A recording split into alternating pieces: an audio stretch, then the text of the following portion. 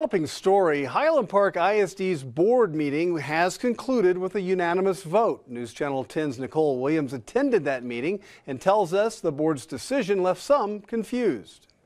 Funds, she never goes over budget. You're the overspender right now. Um, you getting a raise for it?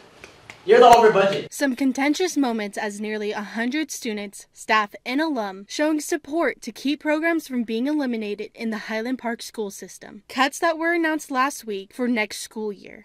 And Miss Cowden's class truly was a fundamental part of my high school career, and I hope and pray that the students in Highland Park right now will continue to have that. Emotions running high at the meeting. One teacher who may lose her job after 17 years in HPISD shared her success rate.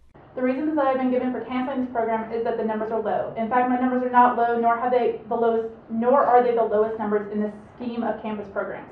The board unanimously voted to, quote, consolidate the elementary school administration duties onto the elementary school principal and eliminate the middle school and high school theater arts programs. You can't continue to operate uh, in a deficit situation. Hannon clarified, stating, quote, No one has been non renewed, no one has been terminated at this point. Anything like that would require further action. HPISD has not posted any meeting times for April or May yet. Nicole Williams, News Channel 10.